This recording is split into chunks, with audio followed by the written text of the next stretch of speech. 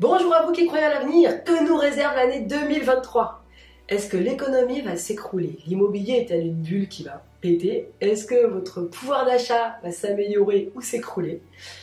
Et votre épargne est-elle en danger? Qu'en est-il de la santé, de l'environnement? Et la question importante, y aura-t-il une troisième guerre mondiale comme Nostradamus nous l'a prédit?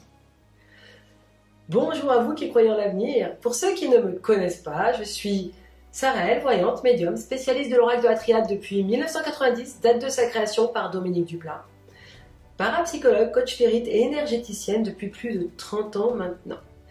Et auteur du livre Le bonheur c'est maintenant. C'est un guide pratique pas à pas pour apprendre le bonheur. Et oui, le bonheur ça s'apprend afin d'améliorer votre vie facilement et rapidement. Je vous mets le lien en description si ça vous intéresse. Concernant la bourse, c'est un sujet très compliqué parce qu'il faudrait je pense le faire action par action pour être vraiment précis. Donc par conséquent, ma voyance portera sur la bourse en général en 2023. Le sujet est d'autant plus intéressant que chaque fois qu'on pense qu'il va y avoir un crash, ça remonte. Il y aura de très belles opportunités pour gagner de l'argent, mais attention, je vois une chute soudaine et une coupure nette. Et après, une remise en question du passif de cette action. J'ai comme l'impression d'en déjà vu, donc faites attention quand c'est trop beau parce que les coûts intéressants ont l'air très volatile avec des chutes soudaines. Par contre, il y aura une remontée vers la fin d'été. Donc en 2023, la bourse va baisser au début d'année, puis ça va aller mieux en général. Hein. Puis une rechute. Mais à ce moment-là, je vois un homme et une femme qui vont s'inquiéter et qui feront remonter, feront remonter la bourse. Pardon. Ce qui est intéressant, c'est de voir comment ils vont le faire. Quand je dis un homme et une femme, c'est pas un homme et une femme au hasard. Hein. On parle de personnes qui sont très influentes, évidemment, et il va communiquer lui massivement afin d'influencer les investisseurs pour remonter les chiffres là où il le désire, lui et cette femme. Le but étant de faire pencher la balance du côté qui les intéresse. On parle d'un dirigeant puissant et d'une femme qui gère déjà une grande puissance économique. Par contre, je ne suis pas sûre que ce soit très légal de faire ça. Par conséquent, cet homme aura des soucis avec la justice plus tard. Mais ça, je ne l'ai pas vu en 2023, je l'ai vu plus tard. Ce sont des problèmes qui vont lui arriver après 2023. Il devra, justifier de ses actes. L'euro se renforce en accueillant un nouveau pays en janvier 2023. Par contre, il y aura un autre pays dans le courant de l'année qui va vouloir tourner le dos à l'Europe et reprendre son indépendance. Un pays qui est gouverné par une femme, qui a des difficultés et qui voudra se détacher de l'Europe. Elle commencera à vouloir sortir de l'Europe en 2023, mais évidemment, ça prendra plus de temps. Mais ça se mettra en place en 2023. Même s'il y a des difficultés économiques, surtout durant les six premiers mois de l'année, l'Europe continue de vouloir évoluer et se renforcer. Et il y aura une évolution positive durant la deuxième moitié de l'année. Quant aux USA, ils vont lâcher du lest pour laisser monter la montgolfière et ils vont ouvrir des opportunités économiques. Il y aura une réorganisation économique qui permettra d'évoluer vers du positif. J'ai une réelle réussite suite à cette organisation. La situation sera plus stable, il démarre une nouvelle collaboration qui va leur permettre de donner un bon coup de pied vers le haut. Donc en fin 2023, l'Amérique évoluera côté économique. Dubaï, alors on parle de Dubaï et du Qatar pour ceux que ça intéresse, ça continue de monter en flèche. Pourtant en 2023, je vois le début d'une soudain, soudain d'une collaboration de leur côté aussi pour se développer encore plus rapidement. Donc ce qu'on remarque, c'est que les pays vont devoir collaborer ensemble pour s'extirper de cette crise. Et d'ailleurs en France, il y aura une urgence pour trouver une solution et retrouver un semblant de stabilité. Je vois donc la France ouvrir des opportunités vers l'étranger pour développer l'économie du pays. Cela entraînera une réorganisation économique. Concernant l'inflation, elle continue légèrement et un rééquilibrage se fera vers le printemps.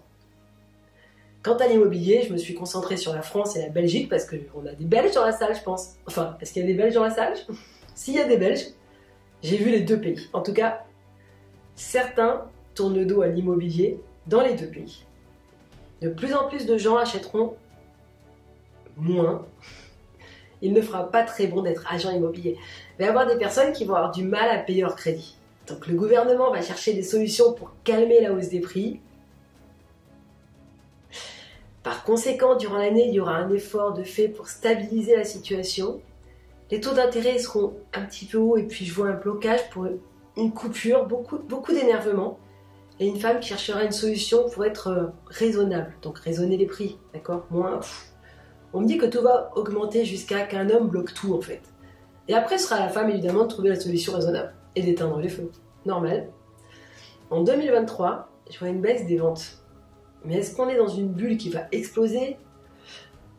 Je vois bien un grand changement dans le courant de l'année, moins de ventes, donc on est toujours dans l'immobilier, moins de ventes, un prix qui stagne, puis une grande coupure, c'est-à-dire les taux de prêt immobilier augmentent légèrement et baissent dans le courant de l'été.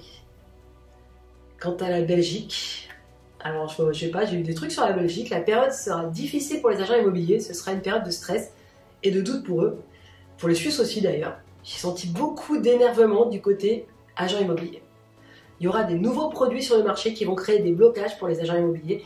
Et si vous voulez vendre un bien, c'est le moment. En fin d'année prochaine, je ressens une baisse des prix. Donc par contre, si vous voulez acheter un bien, il vaut mieux attendre un petit peu, attendre la fin d'année.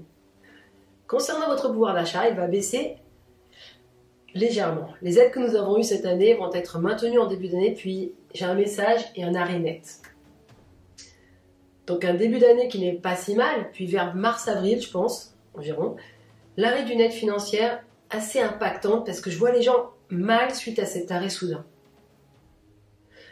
Je pensais à une nouvelle économie qui se met en place, mais je me rends compte qu'en 2023, en tout cas, les gens achètent encore plus à l'étranger pour payer moins cher. Donc on va pas forcément sur une année d'économie plus responsable ou éthique. Ce concept-là, il est plus pour les gens qui ont de l'argent. Alors que les autres, ceux qui n'en ont pas, ceux qui ont moins d'argent, ils vont vers le moins cher. Et apparemment, le moins cher, on ne le trouve pas vraiment en France. Après, je ne parle que de l'année 2023, donc rien n'est perdu. On y croit encore pour la suite. De plus, une femme cherchera des solutions en collaborant avec d'autres pays pour sortir de la France, de la crise, mais cette collaboration restera cachée. En attendant, je vous remercie de m'avoir écouté jusqu'au bout et n'oubliez pas, l'histoire est remplie de rebondissements et de miracles, alors croyez aux miracles. Ayez foi en l'avenir. Je vous remercie infiniment de m'avoir écouté jusqu'au bout. Si vous avez d'autres questions, des idées, des suggestions, des flashs sur l'avenir, n'hésitez pas à les mettre respectueusement en commentaire.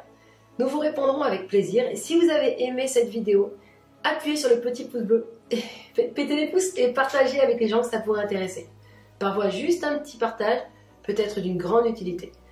Si le domaine du spirituel, de l'invisible, du bien-être, de l'actualité à venir ou juste pour améliorer votre vie quotidienne vous intéresse, abonnez-vous à la chaîne et cliquez sur la petite cloche afin de recevoir toutes les nouvelles vidéos publiées.